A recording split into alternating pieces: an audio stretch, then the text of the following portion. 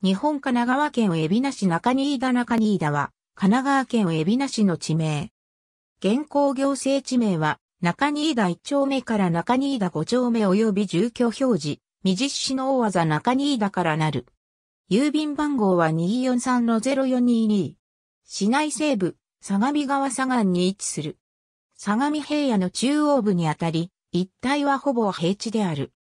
神奈川県立海老名高等学校及び神奈川県立中央農業高等学校が所在し、西部には首都圏中央連絡自動車道の海老名インターチェンジが位置する。北で河原の口及び薩木町、北東で勝瀬、東で大谷、南で今里及び鮭、西で相模川を挟んで厚木市厚木に接する。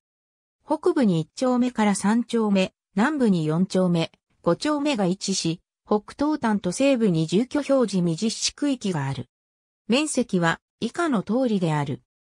住宅地の地価は2017年1月1日の工事地価によれば中新谷の13の35の地点で17万8000円平方メートルとなっている。